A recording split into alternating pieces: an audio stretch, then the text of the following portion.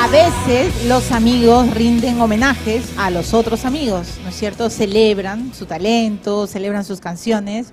Huicho me estaba contando eh, en, el, en el receso que eh, Ramera, este tema que, que han lanzado, es un cover en verdad de la secta y que en algún momento algunos de los miembros de la secta fueron un previo, el Claro. pre-Mar de Copas, ¿no es cierto, Huicho? entre Los Inocentes, que era el grupo anterior de Toto y Manolo, eh, y Mar de Copas, hu- pasaron mucha gente para, digamos, formar el nuevo grupo Claro. de Los Inocentes, y uno de ellos fue Arturo Rivas, que tenía esta canción que era de su grupo anterior, La Secta, pero también como que la ofreció para ver si hacían una versión en la nueva formación, en el nuevo proyecto de grupo. Finalmente Arturo se fue, este, pero la canción quedó. Claro. Y rebotó, rebotó, rebotó hasta que solita logró ser grabada. Solita la hizo. Solita. Solita la hizo. Ahora, los inocentes, en, en un principio, en el origen de los tiempos, eran los inocentes. Los Inocentes. Claro, era Manolo y Toto, solo los dos, ¿no? Manolo Toto y Y Gustavo Jiménez, más conocido como La Planta. Claro, la Incluso planta. Pelo Madueño también pasó por ahí. Pelo también, Madueño también. época, sí. ¿Cuán inocente eras, Manolo? Eh, no, Nada. mucho, Ah. mucho, mucho. ¿Mucho? Y después, ¿cómo, ¿cómo llegó Huicho? Esta es una pregunta, obviamente, que los fans la conocen de memoria, pero para el público que, que recién se enchufa a Mar de Copas, ¿cómo llega este hombre? Yo este, fui contratado para hacer plomo de Mickey González en la época que Mickey González estaba en su primer disco. En la- para el primer concierto en el que trabajé en la vida fue el concierto de Año Nuevo del 86, un mano a mano en Huancayo, justamente, Mickey Ajá. González y los Chapis. Un Para, que, para quien no entienda lo que significa plomo, es la persona que jala el los que instala cables, los escenarios, que afina los instrumentos, carga las cajas. Exacto. Tú fuiste el yo- plomo de Mickey. Sí, entonces el primer día que llegué a trabajar, este, toqué el timbre, este año nuevo, el 86, toqué el timbre y me abrió la puerta Huicho. Y bueno, yo lo conocía porque era el cantante, había sido el cantante de Narcosis y, había Claro. escuchado- y eso lo conocía, pero este, ahí lo conocí y, y fuimos compañeros de trabajo ma- 10 años antes de, de que existiera Mar de Copa siquiera, ¿no? Ajá. En el grupo de Mickey. O sea, básicamente se hicieron amigos trabajando con Sí, Mickey. o sea, como te digo, o sea, cuando, cuando el grupo Maracopa se forma, en realidad nos conocíamos de mucho antes de Sí, haber claro. sido también, este, no solo amigos, sino compañeros de trabajo, ¿no? Haber pasado las, las mil y una. este, ¿Algún tema de narcosis días. se ha hecho cover en Mar de Copas? No, De güey. imposible. Al principio, No, cuando, güey, solo, dice. cuando solo to- teníamos las 12 primeras canciones, Ya. cometimos el error de ceder a algunos pedidos Ya. y tocar sucio policía, ese tipo de cosas, pero fue un No momento. forma, ¿no? no, Eh, fue un error, fue un error. fue un error histórico. Ya, entonces, que cantamos Ramera. Cantamos Ramera, es. Ramera de tu amigo. De la secta de la y secta. de Arturo Rivas. ¿Dónde y está ¿cómo se Arturo? Rivas ahora? Gallo Fonseca. ¿Ah? Mauricio Fonseca. Mauricio, Mauricio Fonseca. Fonseca. ¿Y dónde Bueno. está Arturo? Arturo, ¿dónde está ahorita? En Miami, Miami. ¿no? En Miami. Y, el- Y Mauricio en está en Paraguay, sí, ¿no? Paraguay, Sí. me parece que estaba en ah, Paraguay. o sea, ninguno de los dos vive en el Perú. No, no, no, no. Bueno, pero igual. Eran los eran muy barmans de la sectarios, discoteca. eran muy sectarios. Ellos eran los barmans de la discoteca Nirvana, que fue este... Ellos eran los barman, ¿me de la estás? discoteca Nirvana, que fue donde tocamos, me parece, nosotros por primera vez con nuestro primer grupo, ¿no? ¿En la serio? inauguración de esa discoteca. Claro, me acuerdo de Nirvana. En el 87, ¿no? Sí. Qué locura. Y ahora, Pero ese Ahora ra- sí, la barraca. Sí, una lavandería. sí. ahora es una lavandería. ¿De verdad, Toto, ahora es una lavandería? ¡Ah! Increíble. No, en serio, ya no hay, ya no hay discoteca como Nirvana, ¿no? Ya no hay. ya no hay. Bueno, hay. entonces dedicado a la amistad. Así es, dedicado Ramera, a- muy bien, señores. Yo me retiro de escena. Todavía no cumplo mi sueño de cantar. Pronto, pronto. Date los coritos de esta, pues.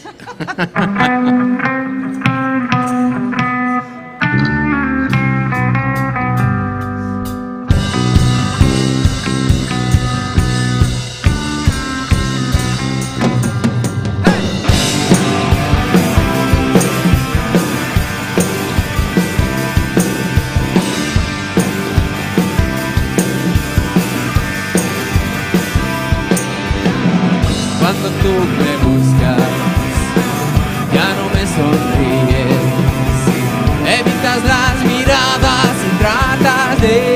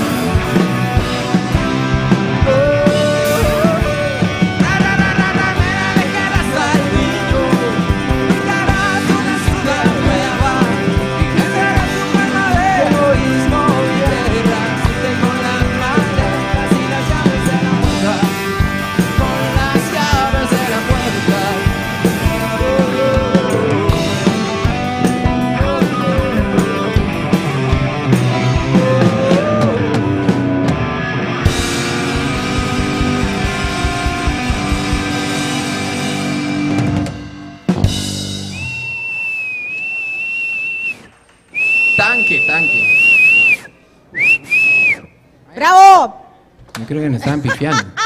No, no, ¿cómo? Porque no te asustes, por Dios. La que se asusta soy yo. ¿Tú sabes pifiar? ¿Cómo se dice? ¿Chiflar o pifiar? Chiflar, no sé. Pero, eh, Huicho, yo te voy a copiar, ¿ah? Qué comodidad de Oh, sí. sacarse los zapatos. Oh, sí, tú, tú no te sacas los zapatos. Bueno, ya, ya estamos empezándonos por los zapatos. Eso- esos son las, este, los privilegios de los artistas. Ahora, una periodista sin zapatos. Yo tengo que hablar con Mujer Noche. Me van a perdonar, pero sin tacos es mejor. Así que, Phoebe, me estoy acercando. ¿Cómo estás, Phoebe? Ahí estás. Phoebe, ¿qué tal? ¿Por qué pasa eso? Nunca entiendo. Porque no puedes apuntar con la punta de un micro a un parlante. Se llama un acople, un feedback. Eso se llama acoplo, Manolo. Acople o feedback. ¿Cómo? ¿Recuerdas tú? Así, así. Ah, ok. Ya, Manolo, ¿y tus, tus años de plomo fueron buenos?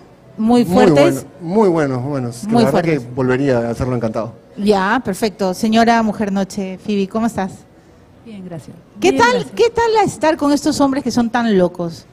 Porque yo los veo así, no sé cómo son realmente, pero desde Todo- lejos, de abajo, en la tribuna, a los mar de copas siempre los he visto como locos. Bueno, todos están locos. eh, ellos son como mi familia. Ajá. A veces los quiero matar a golpes a todos, pero tenemos una relación bien fuerte, bien unida. Bien fuerte, claro. Y Phoebe, tú solo sales del grupo cuando quedas embarazada. Así es, cuando estoy dando a luz en realidad. He tocado con la panza así que ya no podía. Has tocado embarazada, Sí, wow. claro, sí. Tienes que preguntarle si ella también está loca o no.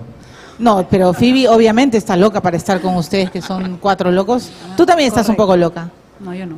¿Tú eres la hermana, tú eres la hermana seria de Katia? Soy la hermana más tímida de Katia, pero no soy tan seria. No eres tan seria.